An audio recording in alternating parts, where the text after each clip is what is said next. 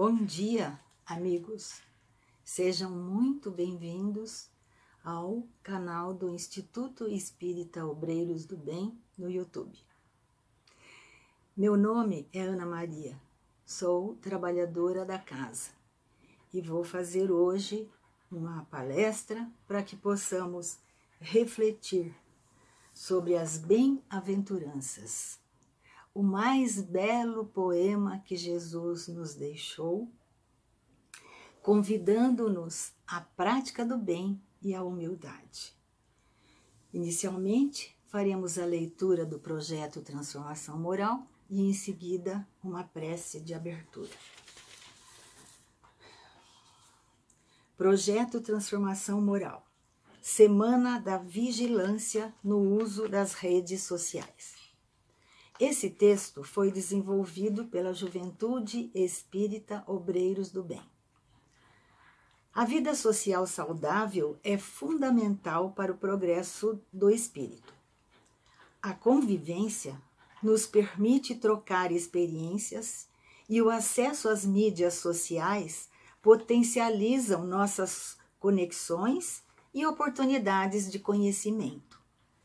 A doutrina espírita nos esclarece que todas as ciências são revelações divinas, as quais temos que contemplar e usufruir com gratidão, inteligência e discernimento.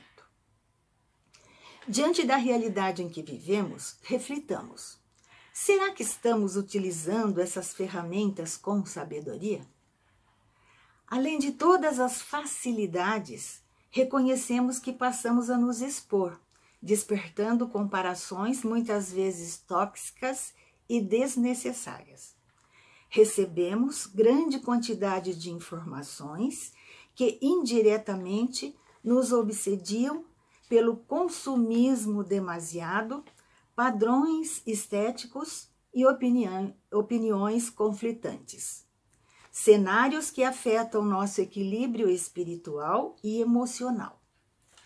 Em discussões recentes no grupo da juventude, brincamos entre nós que passamos praticamente a viver como espíritos desencarnados, mudando rapidamente de vibração e cada conteúdo que interagimos, num desligar dos dedos, também refletimos sobre o tempo que dedicamos ao uso dessas ferramentas. Elas têm nos trazido informações de teor positivo ou negativo? Longe de qualquer censura, compreendemos a importância de sermos vigilantes sobre o tempo que dedicamos e qual tipo de conteúdo estamos consumindo nessas interações. Consumamos bons conteúdos, interajamos sempre com amor, entendimento e tolerância. Possamos também equilibrar o tempo e dedicar momentos sem o uso de dispositivos, nos dedicando ao silêncio reformador, à prática da prece e verbalizando palavras de afeto a quem amamos. Pois, como o Mestre Jesus nos ensinou, Onde está o seu tesouro, ali estará o seu coração. Um grande abraço dos amigos da Geob.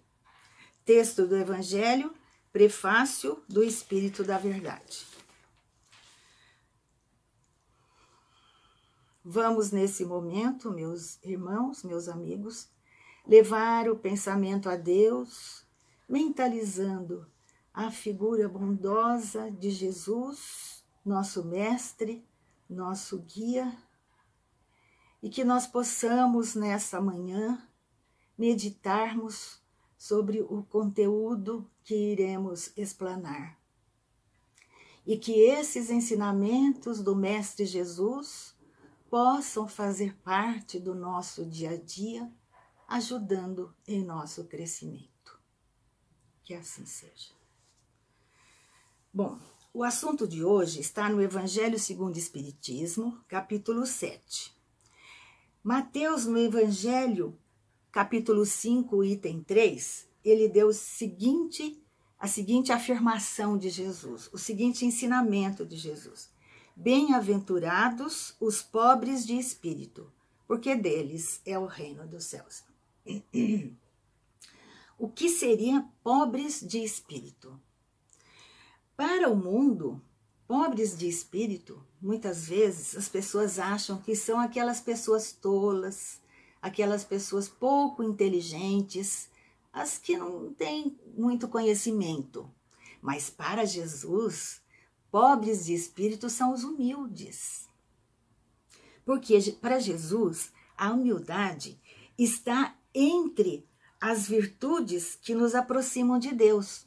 E o orgulho, que é o contrário da humildade, está entre os vícios que dele nos afastam. Então, nós vamos nesse capítulo nos ater apenas aos itens 3 a 6 do Evangelho segundo o Espiritismo. Com o título Quem se elevar será rebaixado. Mateus, capítulo 18, itens 1 a 5, nos conta esse episódio da vida de Jesus. Quando os discípulos chegam a ele e perguntam: Mestre, quem é o maior no reino dos céus? Jesus então pega um menino que estava ali do lado, tinha algumas crianças assistindo a pregação de Jesus, coloca esse menino no meio deles e diz o seguinte: Na verdade vos digo, se não fizeres como meninos, não entrareis no reino dos céus. Todo aquele, pois, que se humilhar e se fizer pequeno, como este menino, esse será o maior no reino dos céus. Porque Jesus compara a criança como sendo a, a, o humilde, aquele que vai ter acesso ao reino dos céus. Porque a criança, ela é sincera naquilo que sente. Ela não sabe fingir sentimentos, ela não mente. Ela é corrompida pelo adulto. Ela não dissimula, não discrimina. Por isso que Jesus faz essa comparação com a criança. Aí, ainda, Mateus nos traz um outro ensinamento que aconteceu nessa época com Jesus e seus discípulos. A mãe dos filhos de Zebedeu, que eram discípulos de Jesus, chega a Jesus e diz: Mestre, dize a esses meus dois filhos que um sente-se à direita e o outro à sua esquerda no seu reino. É, é egoísmo é amor egoísta de mãe, não é querer a melhor posição para os filhos. Aí Jesus questiona os rapazes: Podeis vós beber o cálice que hei de beber? Os rapazes respondem: Podemos. É verdade que há vez de beber o meu cálice. Mas quanto a ter desassento ao meu lado, não depende de mim. Isso cabe ao meu Pai que está nos céus. Ele é que vai ter preparado esses lugares. Quando os discípulos ouviram esse diálogo, ficaram muito revoltados com os rapazes. Que audácia, não é? Como é que eles fazem um pedido desses? Aí Jesus, como sempre, aproveitando a oportunidade de, de dar algum ensinamento, ele diz aos discípulos: Sabeis que os príncipes das nações dominam seus vassalos e que os maiores exercitam sobre eles o seu poder. Não será assim entre vós. Parece que até hoje em dia isso acontece, não é mesmo? Aí Jesus continua: Aquele que quiser ser o maior, seja o vosso servidor. E que o e aquele que entre vós quiser ser o primeiro, seja vosso escravo. Assim como o filho do homem que veio ao mundo para servir e não para ser servido. Jesus sempre, sempre exemplificou isso. Ele sempre mostrou a necessidade de servirmos o próximo. E Lucas, no capítulo 14, é, versículos 1 e de 7 a 11. Ele conta que certa vez Jesus foi convidado para jantar num, na casa de um dos fariseus mais importantes da época. E aí chega Jesus com os discípulos, enquanto aguardam a chegada dos convidados, Jesus começa a observar tudo o que acontece e vê que alguns convidados buscam rapidamente os primeiros lugares, os lugares mais próximos do anfitrião, os lugares de maior evidência. Aí ele aproveita para deixar esse ensinamento, essa parábola. E ele diz aos discípulos: quando vocês forem convidados para alguma festa, não procurem os primeiros lugares. Porque pode ser que a hora que o dono da casa chegar, ele vai dizer para você: meu amigo, ceda esse lugar para esse meu irmão. Se ele tinha preparado o um, um, um lugar para aquela pessoa que ele tinha mais afinidade, ele vai pedir para a pessoa ceder o lugar. E essa pessoa vai ficar muito envergonhada em ter que levantar e buscar um lugar mais para trás. Aí Jesus continua: procurem sempre buscar os últimos lugares, porque pode ser que o dono da festa chegando vai dizer a você: Ô oh, meu amigo que está aí atrás, venha sentar-se aqui mais perto de mim. E você vai se sentir bem, vai se sentir feliz, honrado, porque foi convidado pelo dono da festa para sentar perto dele. E aí Jesus conclui com essa linda frase: Todo o que se exalta será humilhado, e todo o que se humilha será exaltado. A doutrina espírita vem confirmar esse ensinamento. A gente observa nas reuniões mediúnicas, na literatura espírita, exemplos de espíritos desencarnados que foram grandes, poderosos, orgulhosos na Terra, que no mundo espiritual, espiritual sentem-se pequenos.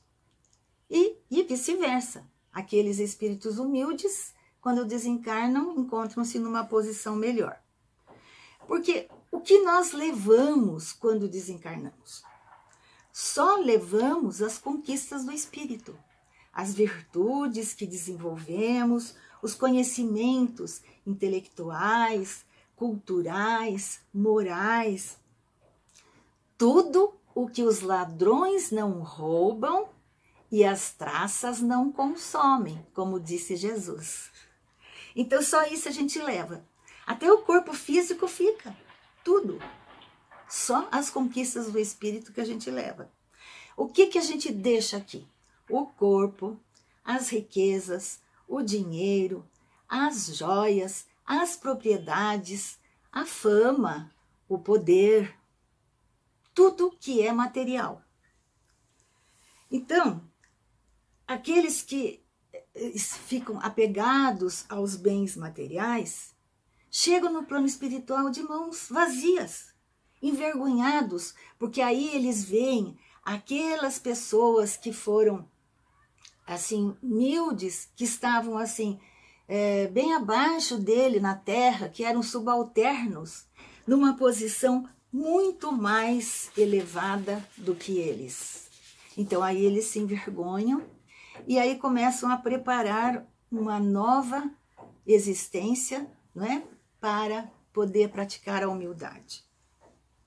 Tem uma história que eu li é, vocês vão me perdoar, eu não lembro em que livro que eu li, mas que me tocou muito.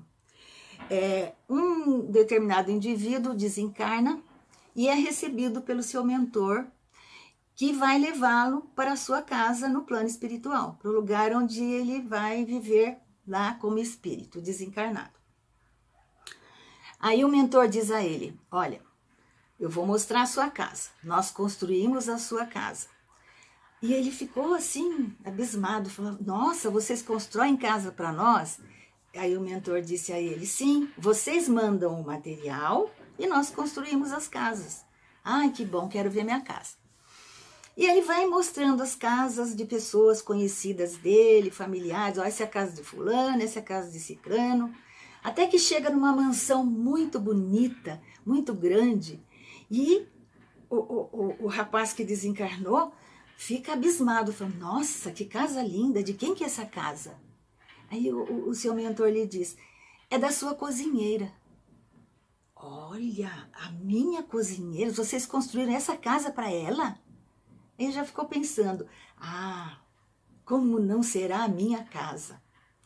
E esse espírito continuou mostrando casas para ele até que eles chegaram em frente a um casebre. Aí ele perguntou: de quem é essa casinha tão pequenininha, né? Tão sem graça. Aí o espírito lhe falou: essa é a sua casa. Como assim? Minha casa? Você não falou que vocês constroem casas para nós? Aí o espírito respondeu: Sim, nós construímos, mas quem manda o material são vocês. então nós precisamos tomar cuidado com o material que estamos mandando para o plano espiritual, porque é o nosso futuro. Bom, gente, pobres de espírito são os humildes. Nós ainda não somos pobres de espírito. Ainda temos orgulho, vaidade, ambição, egoísmo, que são vícios, que são máculas, né, que, que nos prejudicam, que atrapalham a nossa evolução. Mas nós sabemos que estamos no caminho. Erramos muito, somos imperfeitos. Se não errássemos, se fôssemos perfeitos, não estaríamos num plano de é, provas e expiações. Então, nós temos, temos que ter essa consciência. Nós erramos, mas também acertamos. Há muita coisa boa em nós. O que nós devemos fazer? Aceitarmos como somos e trabalhar para combater as imperfeições, que é um trabalho de milênios. Não vai ser uma encarnação só que nós vamos nos tornar espíritos puros. Jesus já havia conquistado o reino em seu coração. E por isso que ele nos orienta para seguir esse caminho. Mas nós temos ainda uma caminhada longa, uma caminhada de milênios. Mas existe um consolo. Todos chegaremos lá, porque é lei, é lei divina. Todos seremos anjos. Por isso que Jesus ao dizer que o reino dos céus é para os simples, ensina que ninguém será nele admitido sem a simplicidade de coração e a humildade de espírito. Eu agradeço a atenção de todos vocês e os convido para uma prece de encerramento. Agradeçamos, agradecemos, Senhor Jesus, nosso mestre, nosso irmão mais velho, nosso grande amigo, nosso guia, por todos esses ensinamentos que nos deixastes. Agradecemos a Deus, nosso Pai, pela oportunidade de podermos vivenciar e estudar esses ensinamentos. Agradecemos aos mentores da nossa casa, o Instituto Espírita Obreiros do Bem, Batuíra, aos demais espíritos que nos orientam, que nos auxiliam, que nos acolhem naquela casa bendita. O nosso mais profundo agradecimento a todos e até uma próxima oportunidade.